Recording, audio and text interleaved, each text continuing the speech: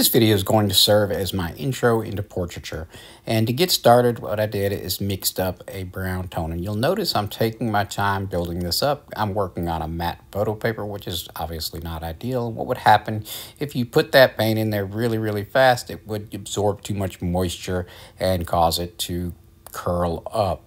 Now, the second color that I'm working with, although it probably looks black on the reference right now uh, without any colors around it. It is not actually black. It is a very, very dark gray mixed with a little bit of brown tones.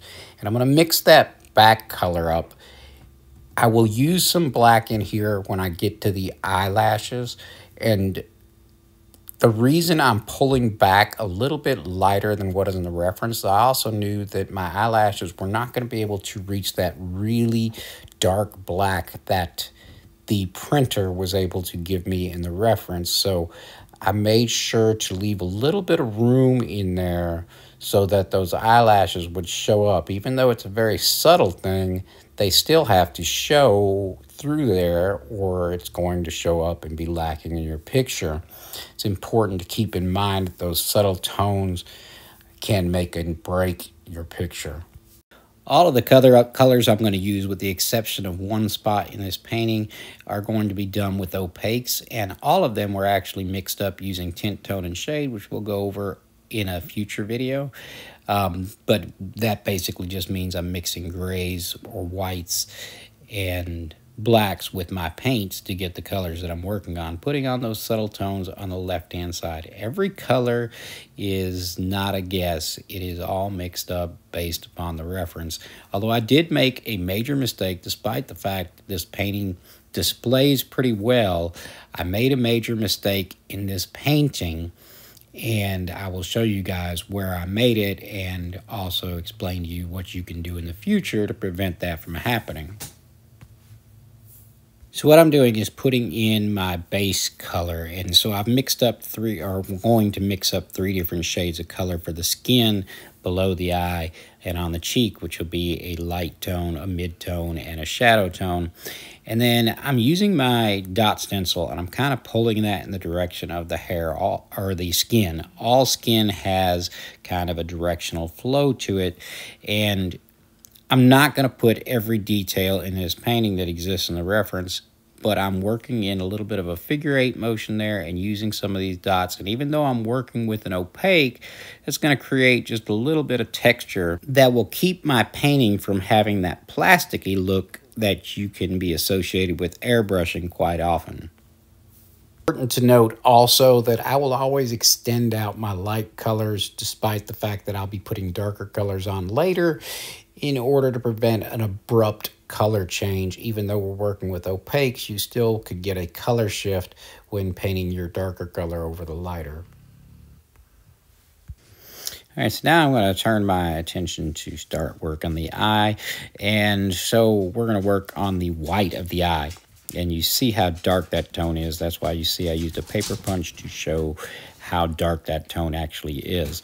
And so what I'm going to do, I put a lighter gray tone in up close to the iris, and then I came back with that darker tone on the very, very edges. You'll see, looking here, how I left out just a little section before the iris for that lighter gray shade, and you can see that as it exists in the reference there. We're going to do uh, two different colors for the tear duct of the eye, plus some highlighting. So that first color is a light pink, which was just a little bit of magenta mixed up with some white.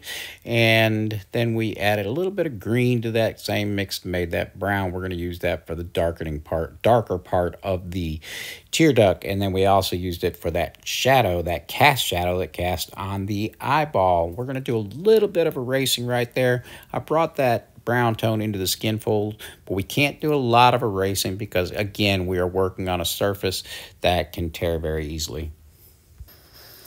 Now I'm going to turn my attention to the hair. And hair is really just not as difficult as people make it out to be. We're going to do a little bit of scratching and erasing here too as well. But of course we can't do a ton because again, we're working on a surface not really capable. As you can see, I created some great lines there. That tone that I'm mixing with is, again, you guessed it, a little bit of brown mixed with some grays, some very dark grays. And you'll see I will take my, that's a, an aggressive sand eraser and then an aggressive pencil eraser and I'm going to start pulling out some of those hairs and then we're going to come in with some transparents. And this is why we use transparent paints. If I would have come in with an opaque, it would have covered the subtle tones that I created in the hair and wiped out those textures. Also, it would have tended to, as I put a lighter opaque over the darker opaque, it would have caused a shift in the tone. I was able to lay the transparents over there because the reddish browns that I put over the top of this hair were almost not showing whatsoever on the darks, but yet left me that nice vibrant color on the lighter portions of the hair. I first came in with sienna and then I used just a little bit of magenta to give it a little bit more red. So now I'm going to mix up, mix up the second tone, and that color was made with orange and gray. And that is that is it. It mixed up some orange and some gray. You can always shift the hues a little bit, but that worked out just where I needed to be. So I'm going to come in and put the shadows in as they need to be, as the beginning portion of the shadow. And of course, there's another darker color of the shadow. And this is where I made the mistake, and I'm going to show you guys what was the mistake was here in just a moment. But as you can see, I'm also adding textures as I work.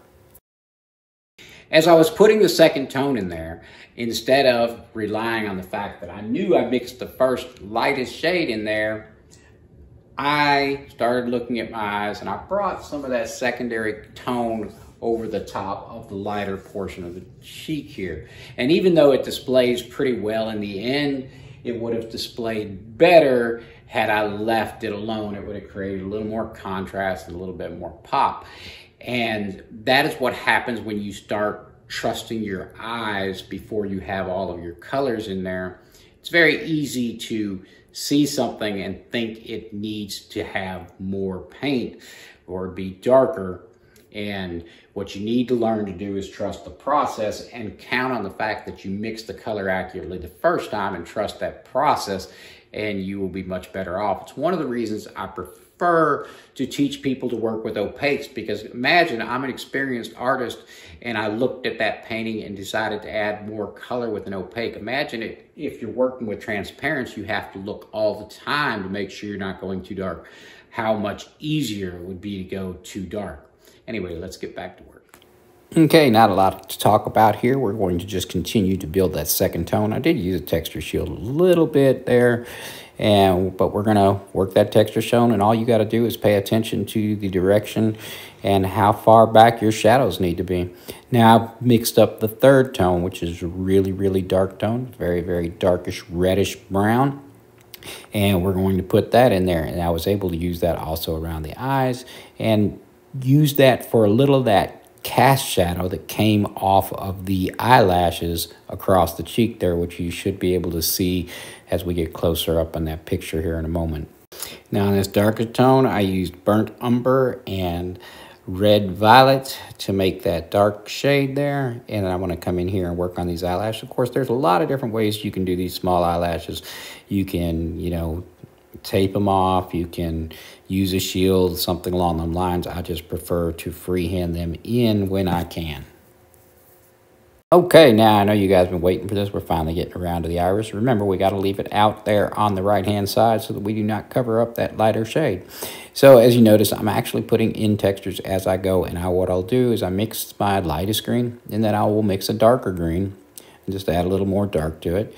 And then I will use a little bit of burnt sienna and a light gray to mix that inside color for the tone. And we'll just continue to work our darks. And of course, obviously, I'm putting in a lot of textures as I go along. But you, the one way you can do that is using shields like that. That's a very dark green, as you can see there. And I'm going to bring that around, even though those outside colors will be darker, I will, I will use that green throughout in there. Eventually what I'm going to use is a almost black color for the shadows and then I'll clean up that pupil when I get to that dark color as well. I prefer not to use a stencil around the edge of the eyes because I want that to be just a little bit fuzzy like nature. And that is why I worked it that way. And that last color we're working with is a very dark blue. So it's blue mixed with black is what's giving me that actual tone there. And there'll be a few things we need to clean up and a few things we'll do to this painting and can do to this painting before it's finished. When you got that far in the painting, that is the time in which you should start thinking about maybe possibly using a transparent. I actually did use just a little transparent red here that I didn't get in the video, just to give this this little warm glow right here on the edge of the cheek.